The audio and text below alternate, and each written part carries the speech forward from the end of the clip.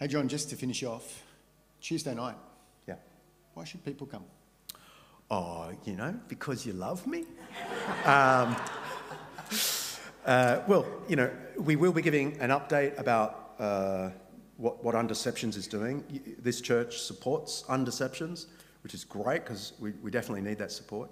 But we're also in the middle of an amazing project, taking the oldest Christian hymn ever discovered. It's from the year 250, right? It's 1800 years old.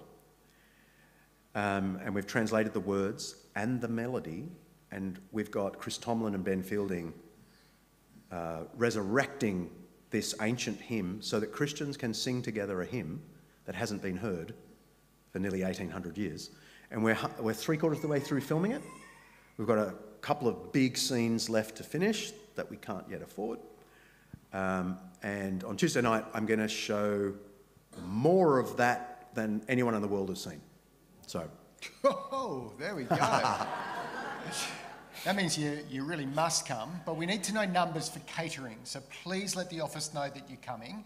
Uh, if you don't RSVP to the office, then you can come, but you just can't eat any of the food that's here and drink. Uh, no, actually, we won't do that. Just still, still come and uh, come with a, a, willingness to want to support this wonderful uh, project uh, that John's doing. I'm going to over-